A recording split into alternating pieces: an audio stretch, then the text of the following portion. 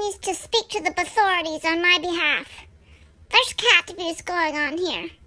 I'm not allowed to play on the banisters. They drug me. They spray shit on my tail twice a day. And they have my head stuck in this fucking cone.